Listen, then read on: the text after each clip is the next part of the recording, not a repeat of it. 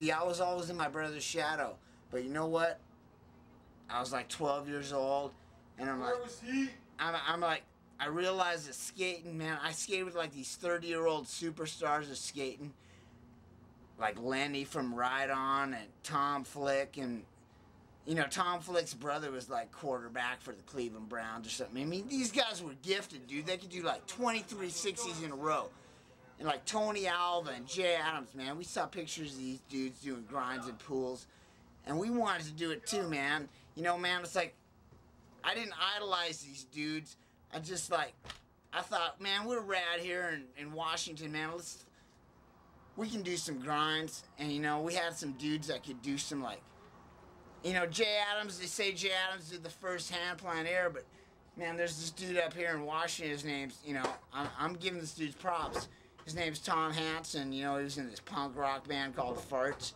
And this dude could do, like, full-on Jay Adams airs on like vert ramps and he'd grab in front of his foot and it was so stylish and like you know i don't like to idolize people and shit but this dude man i really looked up to him because he was like superstar skating his his mom was like swedish and they went to visit uh norway on vacation and shit and this dude was so hardcore into skating man i mean tom hansen he kind of looked like tom petty and shit but but whatever dude set his skateboard up in his bedroom, and when he came back from vacation in Norway, he just ran into his room and jumped on his board and did a wheelie, and like, you know, it's like, what happened was the '90s got too hyped, man. It was like, you couldn't hitchhike anymore. And man, I hitchhiked a lot in the '80s. I went all over the country.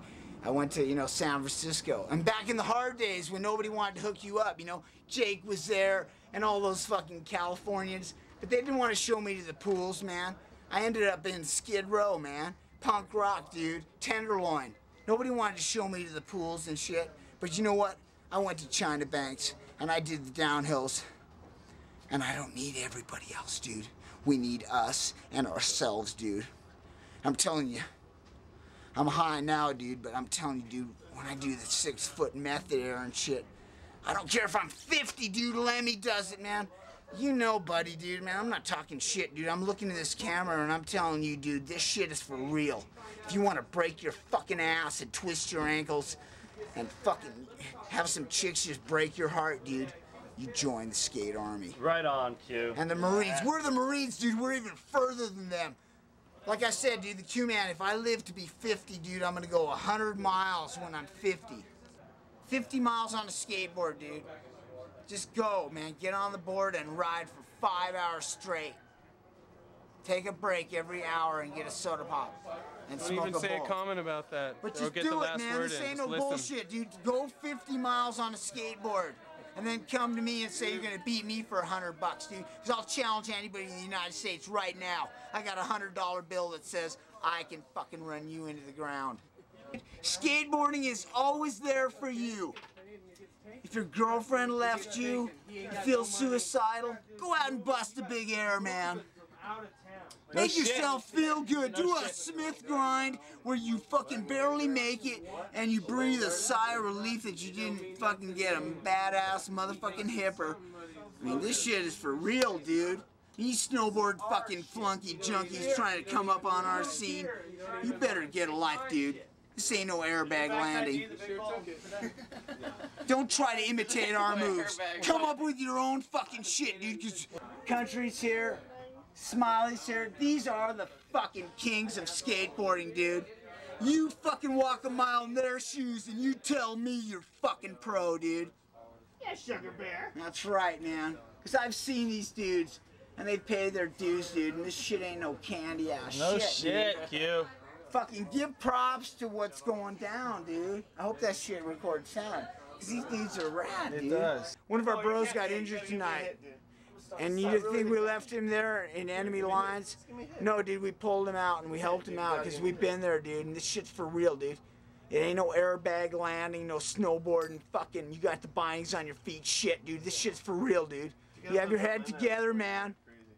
Fuck that camera shit, but you guys know what it is, man. I don't need to preach you guys. This You shit, don't need to fucking. I broke That's both my legs and shit. This shit's scary, Q, dude. you gave us.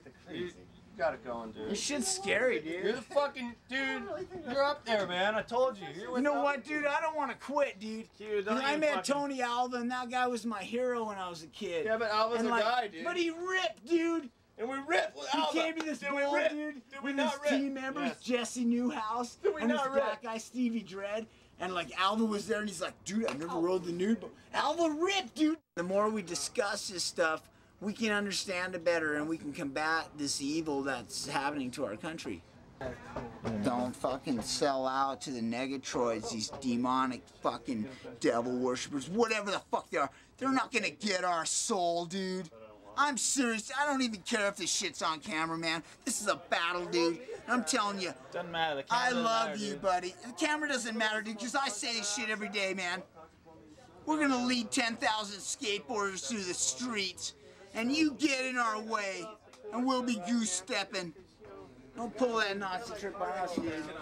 Because, dude, they're not gonna keep us separate. That's why, Charno, you need to come around more often. Keep circling the nation. Keep spreading the word, the skate gospel, that we can do better. We don't have to worry about our past mistakes.